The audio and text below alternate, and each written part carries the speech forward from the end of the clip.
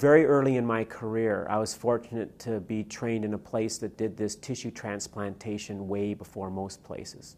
We used it wide scale on all our patients in the late 80s. Now, when we first started doing it, we were terrified. I mean, we, we take these pieces of tissue, completely disconnect them, disconnect the blood vessels, and put them up in the mouth or the face, and just hope they would live.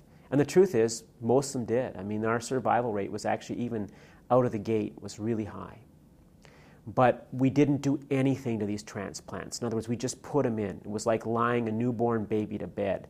You wouldn't fold them, you wouldn't twist them, you wouldn't suture them, you wouldn't shape them. You had to be super careful. And then as time went on, I'd had a background. I, I ran a construction company. I, I, did a lot of carpentry. I built my, all my own furniture.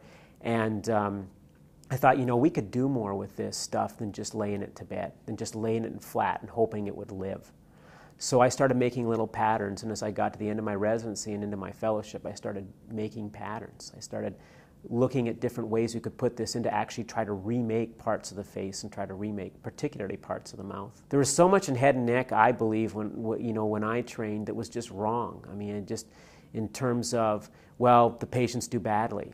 Um, the patients are going to have a lot of problems. The patients aren't going to eat well. The patients aren't going to speak well. So just just if they live, that's good enough.